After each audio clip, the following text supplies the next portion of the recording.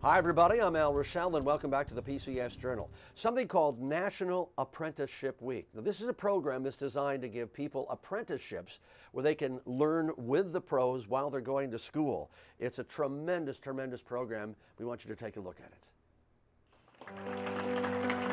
Well, today's about honoring our apprenticeship coordinators, our apprenticeship committees, and our apprentices that participate in apprenticeship programs here at Pinellas Technical College, both at St. Pete and at Clearwater.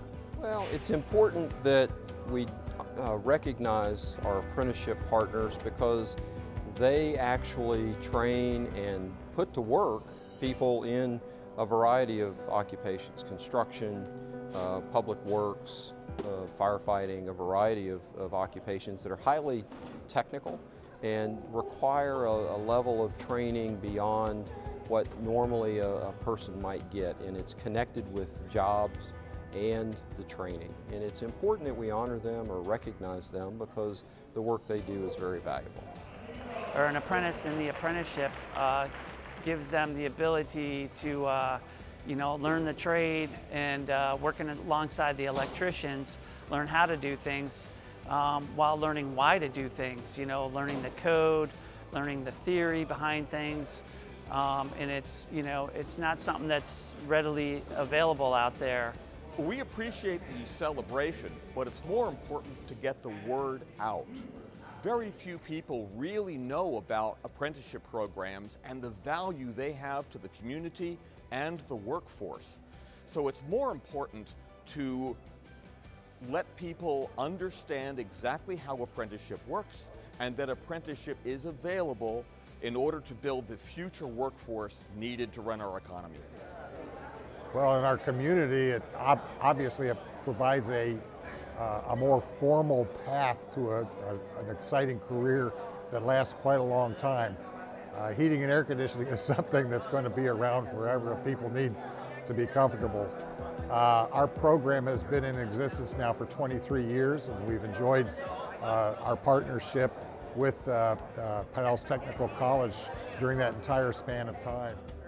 Uh, apprenticeship programs are very important. Um, it gives students um, a leg up on their competitors once they graduate uh, because they have the the learning and the experience that they need to uh, start their jobs. And there are a lot of uh, uh, students that can be successful right out of uh, high school or right out of a technical school.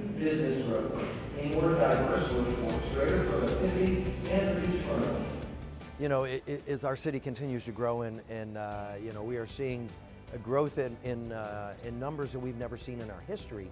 Uh, the, the, the needs uh, for skilled workers whether they're uh, pipe fitters or plumbers or electricians or carpenters you know, masonry workers, you know, across the gamut, uh, just continues to grow.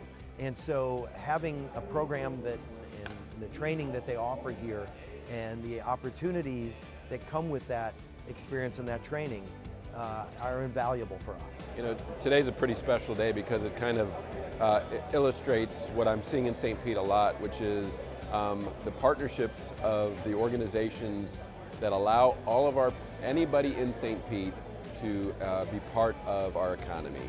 And quite frankly, the, especially these apprenticeship programs are, I think, the heart and soul of uh, what makes St. Pete great, what makes America great right now, which is our ability for everybody to get a skill set. Well, the good thing about, about the apprenticeship program is that you, you, you earn while you learn. That's our motto with the apprenticeships.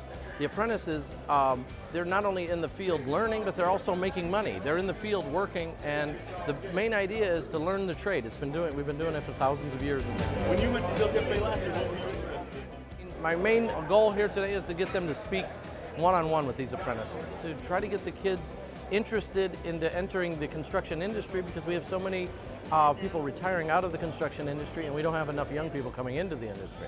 So I'm interested in getting the uh, kids into apprenticeship programs, learning what apprenticeships do, learning how they learn the trades in the field.